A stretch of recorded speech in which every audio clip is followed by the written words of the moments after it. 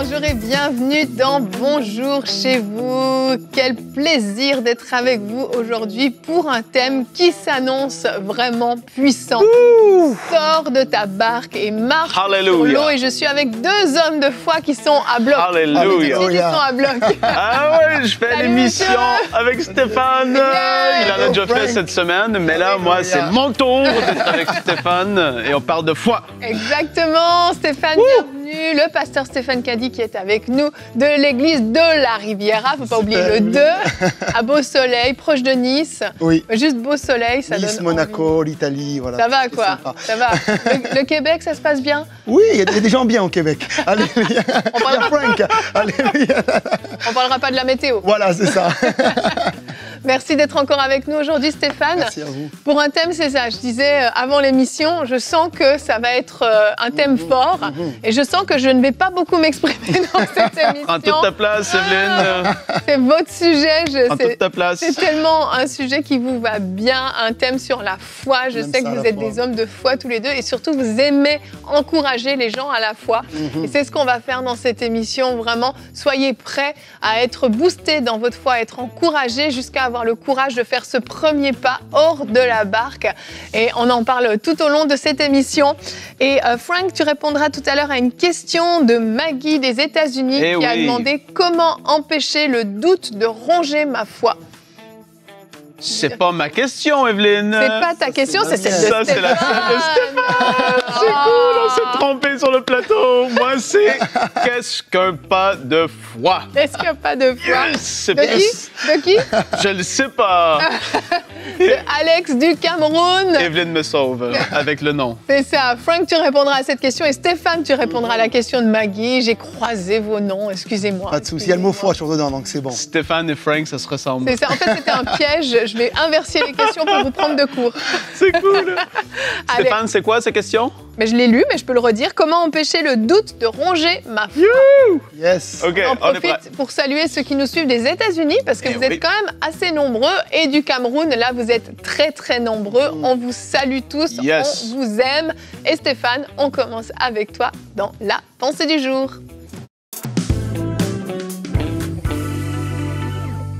Aujourd'hui, on va voir ensemble comment sortir de la barque et marcher sur les eaux.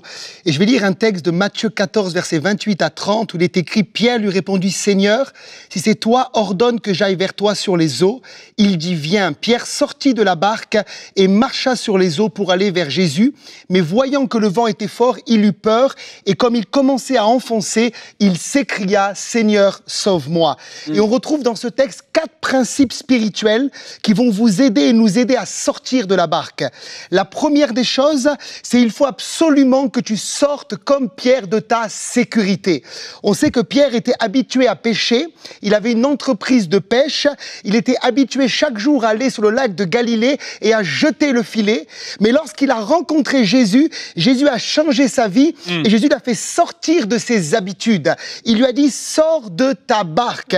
Et pour lui, la barque, c'était sûrement un lieu de sécurité, un lieu de confort. Il connaissait son business, il connaissait son travail, il était habitué à faire cela, mais Jésus l'a sorti de sa zone de confort. Et pour être un homme ou une femme de foi, tu dois laisser le Seigneur te sortir de ta zone de confort. La Bible dit que c'est les violents qui s'emparent du royaume de Dieu. Tu ne dois pas être quelqu'un qui a des habitudes qui le tiennent lié, mais tu dois te lever. La deuxième chose, c'est qu'il a reconnu Jésus. Ça veut dire que la plupart des disciples qui étaient là ont cru que Jésus était un fantôme. Et la Bible dit qu'ils ont eu peur et ils ont crié. Et dans la tradition juive, Bien sûr, c'est faux. Le fantôme était signe de naufrage pour les marins à l'époque. Mais alors que eux croient voir un fantôme, Pierre va discerner. Et celui qui marche dans la foi discerne toujours non pas les œuvres du diable, mais il discerne Jésus qui est en train d'opérer. Alléluia. Il a les yeux fixés sur Jésus. La troisième des choses, il a entendu Jésus. Et pour sortir de ta barque, il te faut toi aussi un réma de la part de Dieu. Ça veut dire qu'il a entendu Jésus lui dire viens. Et réalité, beaucoup de commentateurs bibliques disent qu'il a mis un pied sur le V, il a mis un pied sur le I, il a mis un pied sur le E, il a mis un pied sur le N et il a mis un pied sur le S. Il n'a pas marché sur l'eau, mais il a marché sur la parole de Jésus. Et c'est ce que fait le réma dans nos vies. Le réma nous fait marcher même où il y a de l'insécurité. Alléluia. Reçois aujourd'hui un réma de la part de Dieu. Et enfin, la quatrième chose, et j'aimerais conclure avec cela, c'est qu'il a gardé les yeux fixés sur Jésus. Et dans Hébreu 12, 2, il est dit, ayant les regards sur Jésus, le chef et le consommateur de la foi. Et la Bible dit qu'à un moment, dans Matthieu 14, je crois que c'est au verset 30, le vent va venir, il va voir le vent, il va avoir peur et il va commencer à s'enfoncer. Mm. Et j'aimerais vous dire, vous qui êtes sortis de la barque, pour continuer à vivre dans le surnaturel et le miraculeux, il vous faut garder les yeux, non pas sur les circonstances, mais garder les yeux sur Jésus, le chef et le consommateur de la foi. Amen. Merci Stéphane. Est-ce que tu peux, en quelques mots, juste expliquer ce que c'est un REMA Parce que je me dis, il y a peut-être des amis à la maison qui ne connaissent pas euh, ce terme-là. On l'utilise quand même parfois dans les émissions, mais tu peux l'expliquer? Alors, le réma, c'est comme une parole qui devient vivante pour nous de la part de Dieu. Mhm. C'est qu'on est tous appelés à lire la parole générale, le logos, donc les 66 livres de la Bible, etc. On les lit, on est des bons chrétiens, on se nourrit, on est là, on cherche la pensée de Dieu. Et quand on est comme ça dans la présence de Dieu, c'est comme si à un moment le Saint-Esprit vient et rend cette parole vivante.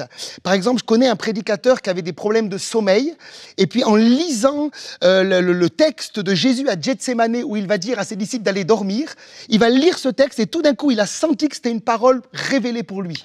Et il s'est mis à prendre par la foi, il s'est couché, il a été instantanément guéri des problèmes de sommeil qu'il avait. Mhm. Ça, c'est le réma de Dieu.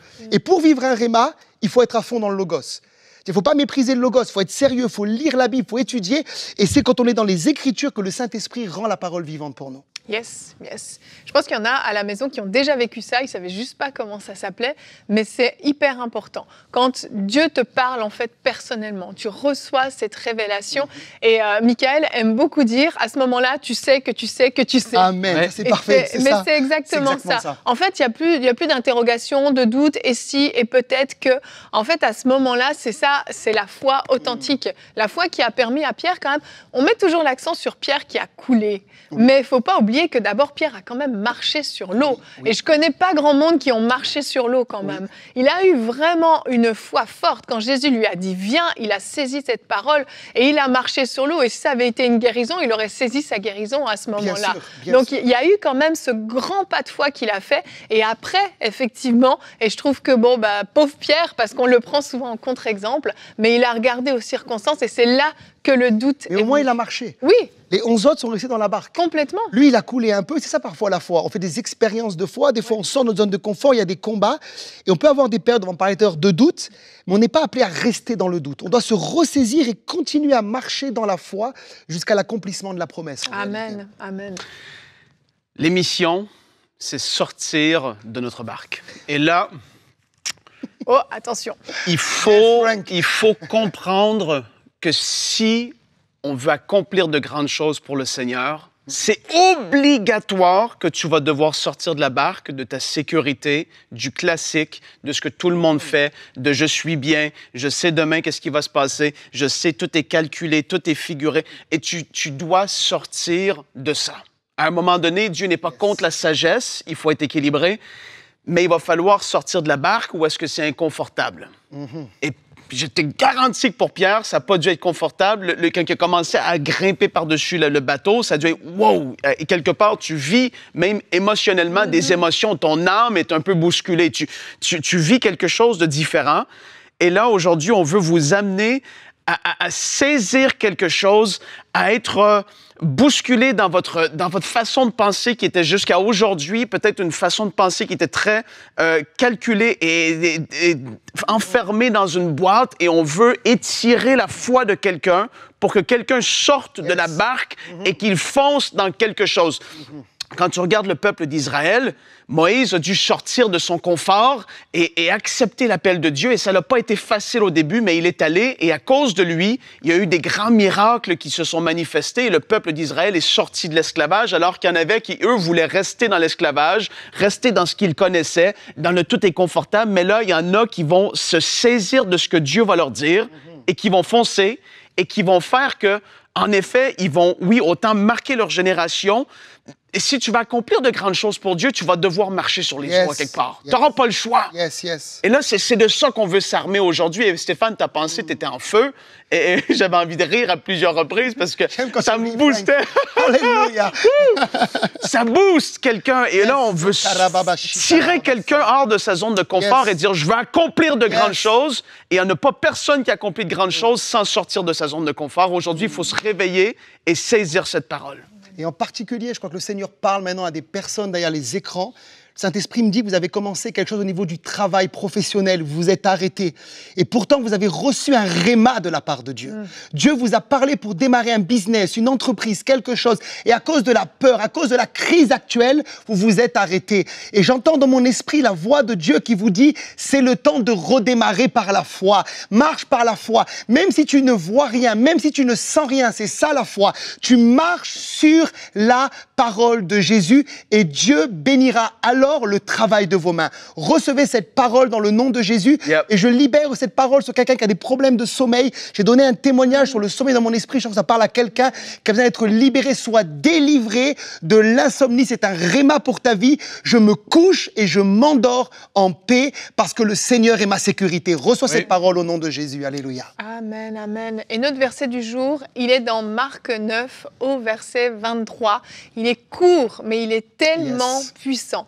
Tout est possible à celui qui croit. Jésus a donné cette parole à cette personne qui, qui était un peu dans la foi, mais un petit peu dans le doute. Il a dit, bah, si tu peux, est-ce que tu peux faire ça? Et Jésus, si tu peux, si je peux, moi, mais bien sûr que je peux le faire.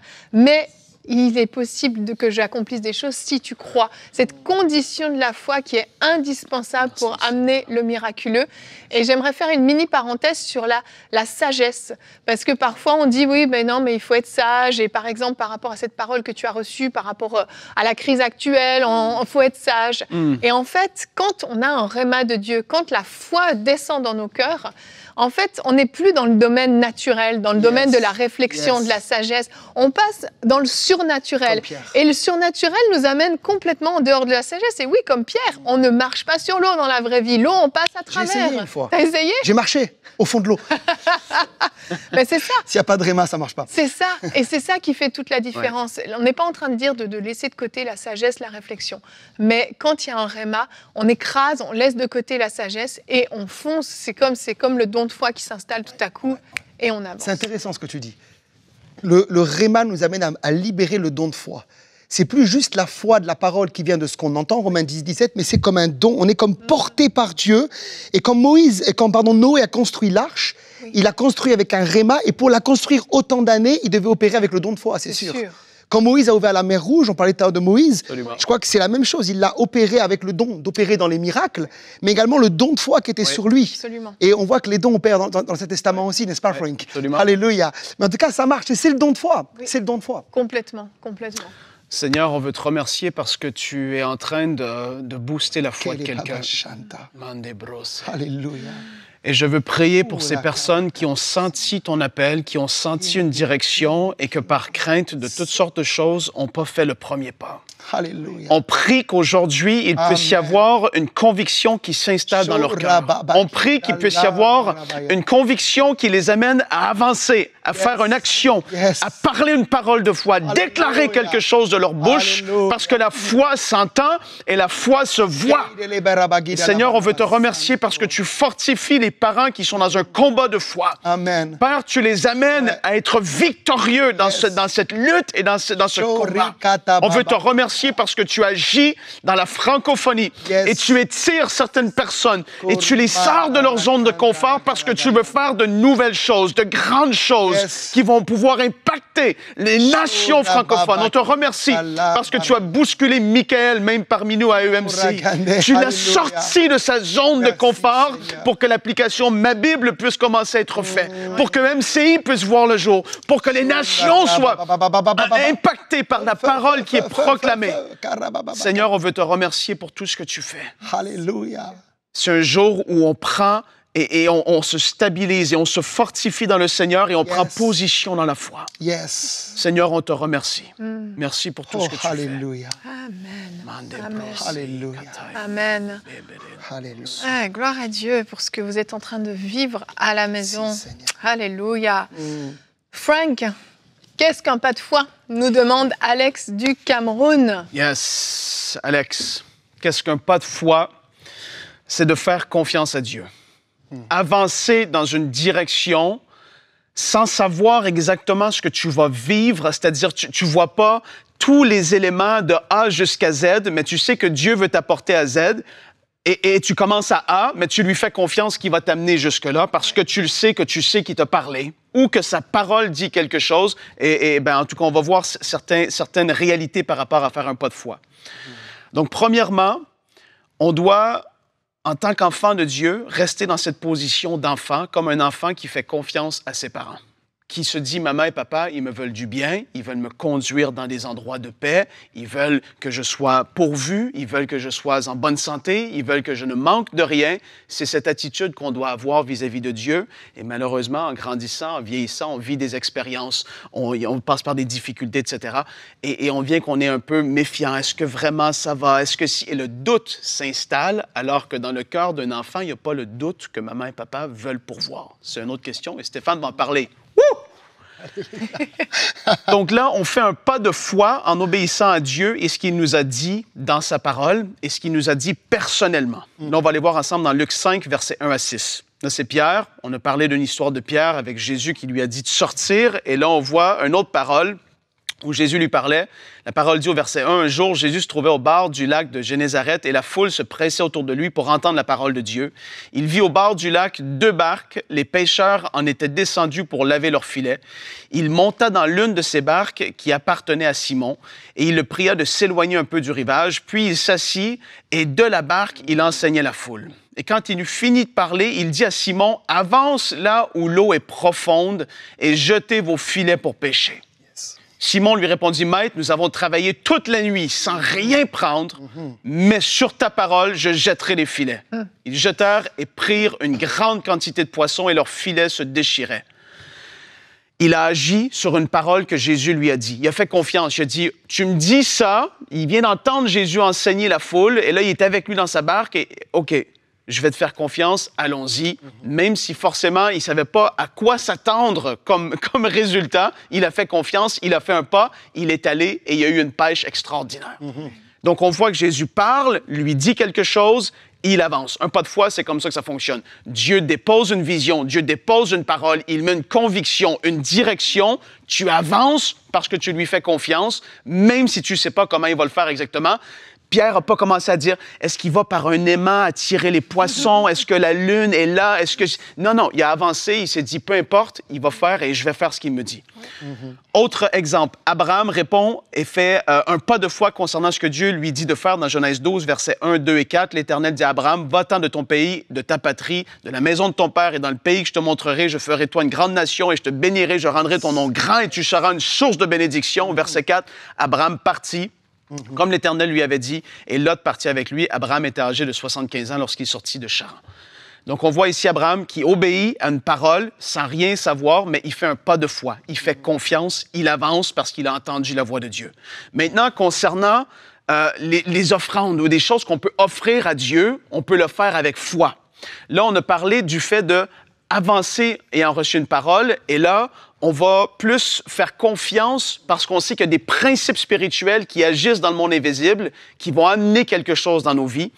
Dieu dit dans, euh, il a parlé justement à la veuve de Sarepta, et Dieu lui parle à cette veuve au travers du prophète. Et cette femme, justement, elle avait quasiment plus rien. Elle a donné au prophète, elle a fait ce que le prophète avait demandé, et puis elle n'a rien manqué pendant ce temps de famine. À cause qu'elle avait agi sur la parole de Dieu, Dieu a pourvu. Et aujourd'hui, on sait que Dieu, dans Matthieu 6, versets 31 à 33, il nous dit, ne vous inquiétez donc et ne dites pas que mangerions-nous, que boirons-nous, avec quoi nous habillerons. En effet, tout cela, ce sont les, les membres des autres peuples qui les cherchent. Votre Père céleste sait ce que vous avez besoin. Recherchez d'abord le royaume de la justice de Dieu et tout cela vous sera donné par-dessus.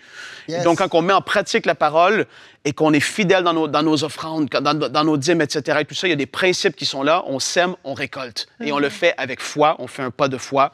Et puis, évidemment, après ça, il y a la guérison. On sait que Jésus nous a déjà guéris. Et donc, on agit d'une nouvelle façon. On pense d'une nouvelle façon. On parle d'une nouvelle façon. J'avais beaucoup de notes, Evelyne.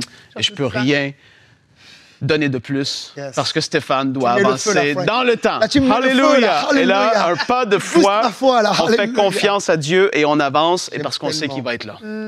Amen, amen. On a tous des exemples de pas de foi qu'on a dû faire euh, dans nos vies, mais nous n'en parlerons pas puisque nous allons avancer dans cette émission.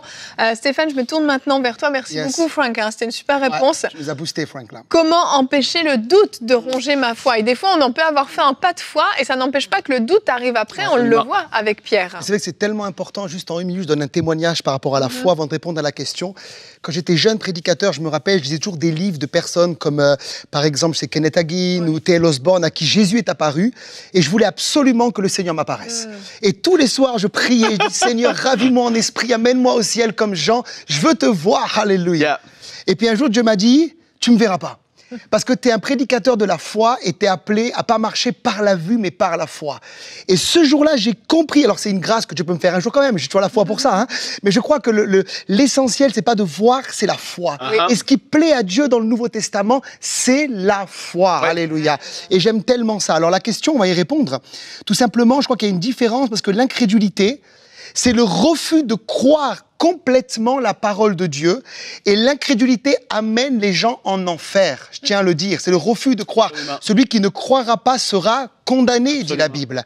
Tandis que le doute, quelque part, c'est être parfois incertain. Et je crois qu'on est tous plus ou moins, même nous les prédicateurs, attaqués par le doute, mais on ne le laisse pas nous manipuler. Amen. On doit résister absolument à l'esprit de doute. Comment on va le voir? La première chose, la bonne nouvelle, ça c'est une bonne nouvelle. Notre esprit né de nouveau n'a pas de doute en lui. Dans mon esprit, j'ai une certitude. Dans mon esprit, il y a la semence de l'évangile qui est rentrée. Dans mon esprit, il y a la vie et la vie en abondance qu'on appelle en grec la vie Zoé. Donc mon esprit ne doute pas, mais c'est dans mon âme, dans mon psyché, dans mes émotions, mes sentiments, ma volonté, mon intelligence qui a un combat avec le doute. Et le seul moyen d'amener mon âme à croire à la parole de Dieu, c'est par le renouvellement de l'intelligence.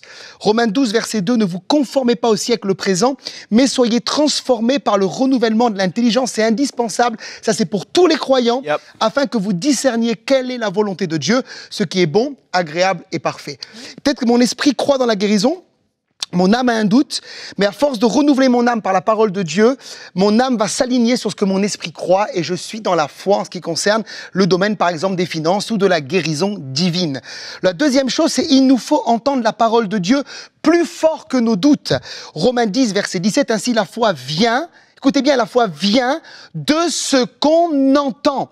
Et ce qu'on entend vient de la parole de Christ ou de la parole de Dieu selon les traductions. Ça veut dire que les informations que j'entende vont avoir sur ma vie une influence. Et ou bien j'entends le doute me parler, ou bien j'entends la parole de Dieu me parler. Et si c'est le doute qui a une influence sur moi, alors je dois entendre la parole de Dieu plus fort que le doute. Par exemple, si votre médecin vous a dit que vous serez jamais guéri et vous pensez constamment à cette parole, votre foi va être liée. Vous devez écouter des enseignements sur la guérison divine jusqu'à ce que la foi soit plus forte que le doute. Vous devez vous rendre dans des lieux de culte, dans des réunions de réveil Ouais. où on prêche le plein évangile et on vous dit que tout est possible à celui qui croit. Quelque part, on va secouer votre foi et le doute n'aura plus de place dans votre cœur et dans votre âme. Alléluia. La troisième chose, très important, entoure-toi de personnes de foi. Et je peux témoigner et dire que le, le- le doute est contagieux, mais la foi, c'est contagieux aussi. vrai. Oui, avec Frank sur le plateau, là, c'est contagieux. Alléluia. Il y a quelque chose, il y a l'esprit de foi. Ouais. L'esprit qui était sur Josué et Caleb se transmet aussi. Alléluia.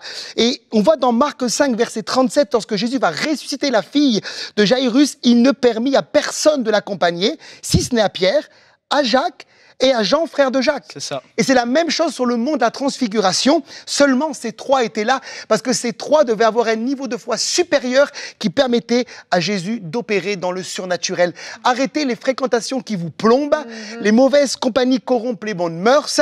Entourez-vous de gens qui croient la parole de Dieu et arrêtez de parler de vos doutes. Parlez la parole de Dieu et confessez la Bible. Alléluia. Amen. Yes. Amen. Merci Stéphane, merci à tous les deux. Mm. Si vous avez des questions dans la rubrique Pasteur, j'ai une question, vous êtes habitués, hein, vous allez euh, nous envoyer un petit mail à pasteur j'ai une question e emcitv.com. Et euh, merci pour ces, ces deux. Je trouve que ces deux questions marchent vraiment ensemble. Mm. Et je crois que vous êtes équipés à la maison euh, pour ne plus céder aux doutes. Il y a, et on a compris l'importance du fondement de la parole de Dieu. Si vous êtes quelqu'un qui lisait très rarement la parole de Dieu, qui connaissait très peu de versets, vous n'avez pas de, de, de fondements sur lesquels vous pouvez accrocher votre foi, le doute va venir et ça va tout balayer. C'est ce que Jésus a dit quand il a parlé de celui qui a construit sa maison sur le sable ou sur le roc. Bâtissez votre foi solide sur Ouais. la parole de Dieu. Et quand le doute voudra venir, bien, c'est une pensée le doute hein, finalement, mais vous serez capable de la balayer très très facilement parce que vous saurez ce que dit la Bible. Pensée vient, vous dites non, voici ce que déclare Yes. la parole de Mm. Dieu et vous allez ressortir euh, vainqueur de Ouais. votre combat. Très très bon sujet, on, on a parlé vite, on a enchaîné beaucoup de points, on a dit beaucoup de choses. Réécoutez l'émission, Uh-huh. euh, mettez-la s'il faut, même au ralenti. Et Evelyne, je tiens aussi à remercier tout de suite Mm. ceux qui ont sommé dans la campagne de dons, les 5000 sommeurs. Ouais. Parce que pour beaucoup, vous avez fait un pas de foi. C'est vrai. Et Dieu le voit. Et comme que je l'ai dit tout à l'heure, très rapidement, il y a un principe spirituel qui est là, qu'on sème, on récolte. Quand on soutient l'œuvre de Dieu, Dieu prend soin de nous. Jésus le dit, tu cherches le royaume de Dieu et sa justice et toutes ces choses-là vont être redonnées. Ma femme et moi, on a semé. Euh, tellement de gens autour ont semé parce qu'on soutient le royaume de Dieu et je veux juste vous remercier et remercier tous ceux qui vont faire ce pas de foi. Peut-être que ça semble beaucoup, mais vous allez faire un pas de foi et on veut croire ce que dit la parole de Dieu. C'est pas ce que Frank dit, ni Stéphane, ni Evelyne, c'est ce que dit Dieu dans sa parole. Il va honorer la foi de ses enfants. Amen, amen. Si vous souhaitez euh, donc faire partie de, de ces 5000 semeurs, vous pouvez aller sur euh, emcitv.com slash 5000, c'est très simple. Et euh, nous croyons vraiment, oui, que Dieu est celui qui Yeah. honore les pas de foi. Prenez le temps de demander au Seigneur euh, ce qu'il en pense. Stéphane, merci beaucoup d'avoir été avec nous. Yes! Yes, On a terminé Juste une ensemble. une belle semaine, une belle semaine avec toi. Vraiment, merci d'être venu sur le plateau de Bonjour Merci, chez vous. Et euh, demain, on va se retrouver, mais ni Christian ni Stéphane ne seront avec nous. Mais nous aurons un invité à distance, le pasteur Chris Campion, qui a raconté son témoignage dans la rubrique C'est mon histoire. Vous allez voir comment il a fait une rencontre avec Dieu. Et le thème qu'on aborde demain, c'est Fais ta propre expérience avec Dieu. C'est ce à quoi on va vous encourager. Yes. Soyez bénis et bonjour chez vous.